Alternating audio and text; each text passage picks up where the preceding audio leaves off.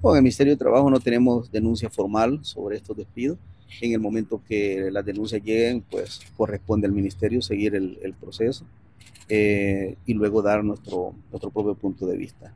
Una cosa que sí es uh, totalmente clara y contundente es que todo despido destitución o separación de un cargo, tanto en el sector privado como el público, debe de llevar el debido proceso. Eh, eso, pero por el momento no tenemos eh, denuncias concretas en el Ministerio de Trabajo. En otro tema también, ministro, eh, sabemos que Estados Unidos está en un proceso de elecciones. ¿Cómo ve también esta, esta elección que está viviendo Estados Unidos? Oh, bueno, yo deseo el, el mejor de los éxitos en, al pueblo de los Estados Unidos. Eh, yo siempre abogué acá en este país para la no injerencia en temas uh, políticos y lo menos que puedo hacer es ser muy respetuoso de eso. Además, el actual embajador de, los Estados Unidos en El Salvador, eh, el señor Duncan, creo que ha hecho un trabajo eminentemente diplomático y muy respetuoso y lo menos que puede esperarse es una reciprocidad de nosotros. Así que en el tema de, de las elecciones internas de los Estados Unidos, eso es una situación que se la dejamos al pueblo de los Estados Unidos y nosotros somos muy respetuosos de la soberanía de los pueblos. Damos paso a Mágico TV, ¿sabes? Buenos días, ministro. Quisiera saber acerca cómo va el proceso de los contingentes eh, que se están mandando. Sabemos que eh, el último que se va a mandar es a Canadá y también el proceso que llevan eh, con Costa Rica. Sí, eh, bueno, el mes pasado enviamos contingente. El próximo mes creo que vamos a enviar otro contingente. Y para Canadá es de forma permanente, de forma continua. Gracias a Dios nos está yendo bastante bien. Con Costa Rica, ya Costa Rica nos hizo la solicitud formal Estamos trabajando ya en, pequeños detalles, afinando todo y en los próximos días esperamos la primera prueba piloto. Al igual, seguimos tocando puertas en España, en, en Italia, que también llevamos algunos avances bastante sustanciales y Dios mediante en los próximos meses podemos estar anunciando apertura de otros mercados laborales que conlleven a nuestros trabajadores, siempre bajo el esquema de, de una moviliz movilización eh, circular para no desprenderse del núcleo familiar y estos trabajadores puedan legalmente entrar a estos países a laborar por meses y posteriormente regresar al país. Así que estamos bastante bien y vamos avanzando en eso. Damos paso a Ileana Leiva de Canal 2. El ministro quería consultarle si ya habían entregado el informe al presidente de la República que fue otorgado por la Unidad Sindical Salvadoreña, donde se pues, pedía un incremento del 30% del salario mínimo. Sí, la unidad sindical hizo su petición en diferentes, uh, de diferentes puntos. Tocaba el incremento al salario mínimo, tocaba también eh, el derecho a la estabilidad laboral, también tocaban el tema de los escalafones y como yo se lo dije en su momento, que fui a atenderlos a ellos, iba a recibir la documentación y se la hago del conocimiento al presidente. Ya el presidente dará las instrucciones correspondientes para enfrentar estos temas.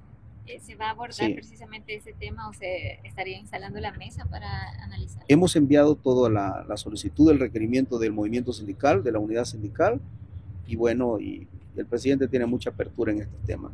Yo insisto que eh, el movimiento sindical eh, apoya muchas de las transformaciones que el presidente Bukele está ejecutando.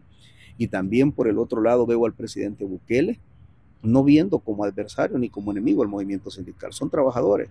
Entonces, en estos temas de carácter estratégico coinciden ambos, coincide el presidente, la política del gobierno del presidente, coinciden los trabajadores, y por eso es que estamos diciendo que desde este ámbito, como Ministerio de Trabajo, vamos a hacer uso del micrófono a fin de garantizar que esto se fomente y termine en diálogo.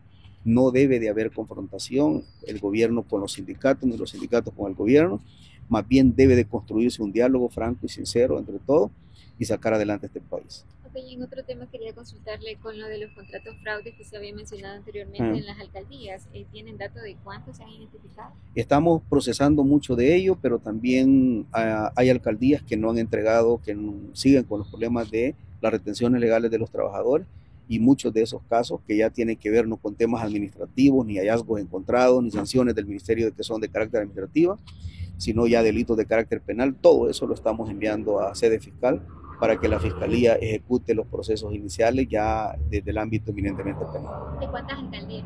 No, son muchas, son muchas, son muchas y cada día nos están llegando más. Pero tenemos algunas alcaldías del oriente, también de acá de la parte de, de San Salvador, y de occidente de todas las partes tenemos alcaldías y también tenemos alcaldías y alcaldes que están cumpliendo con la normativa laboral. Así que estos hallazgos que hemos encontrado, que ya no solamente repercuten en una sanción administrativa, sino también un delito de carácter penal, todas estas han sido enviadas y son enviadas a la Fiscalía. Damos paso a Romel Hernández de Canal 21. Señor ministro, me gustaría saber eh, dos preguntas. La primera es si nos puede hacer un balance con números de eh, la movilidad laboral que ha existido, es decir, más o menos cuántos han sido los salvadoreños que han viajado, que han regresado y a qué países. Y aunque ya lo mencionó, se puede repetir la, parte de en dónde se está trabajando para poder lograr eh, enviar o tener otros, otros, otros flujos migratorios laborales. Eh, y la otra es su opinión como ministro de Trabajo, si es necesario el aumento del salario mínimo y un nuevo código de trabajo. Nosotros eh, aperturamos eh, la, la, movilidad laboral, el programa de migración laboral con Estados Unidos y después con Canadá. Según los datos que nosotros tenemos entre la gente que ha viajado para los Estados Unidos con este programa y la gente que ha viajado a Canadá, ya sobrepasan las 10.000 personas beneficiadas en este proyecto. Eh, que son 10.000 familias que les estamos cambiando la vida de forma radical con mejores ingresos, con mejores prestaciones. Por cuáles son los otros países que nosotros estamos en negociación. Bueno, ya dije, la prueba piloto que vamos a hacer ya con Costa Rica, que tenemos una carta de entendimiento firmada, y también seguimos tocando las puertas, que son las más próximas, las de España y la de Italia. Estos son los otros países. Con el tema del salario mínimo, en efecto, hay una situación que muchos sectores lo, están pidiendo, pero esto es un tema que es trasladado a, la presidencia de la República y será el presidente en el momento que nos mandate poder construir el debate. Por el momento no hay ningún debate sobre el tema del incremento al salario mínimo. Sí entendemos la situación económica que está atravesando el país, sí entendemos que los trabajadores que ganan el salario mínimo necesitan un, un mayor ingreso, el alto costo de la vida, por el alto costo de la vida, pero, repito, es un tema que todavía no está abierto el, diálogo o el debate sobre esto. Tendremos que esperar una directriz, en este caso del presidente, para poder construir el debate y analizar los, los posibles incrementos. Eh, Con respecto al código de trabajo. Código de trabajo, eh, data de 50 años, es un código desactualizado, el mundo laboral globalizado se ha modernizado en aquel momento no existía, por ejemplo, el teletrabajo eh, y, otras, y otras áreas más. El mundo laboral es dinámico y, va modernizándose y tenemos una herramienta jurídica totalmente atrasada. Probablemente fue un buen código en su momento, pero hoy es un código desfasado. También ya hicimos una propuesta ah, y esto ha sido consensado con los trabajadores y lo hemos enviado a Casa Presidencial para la construcción de un anteproyecto de un nuevo código o a lo mejor eh, modificarlo de manera integral.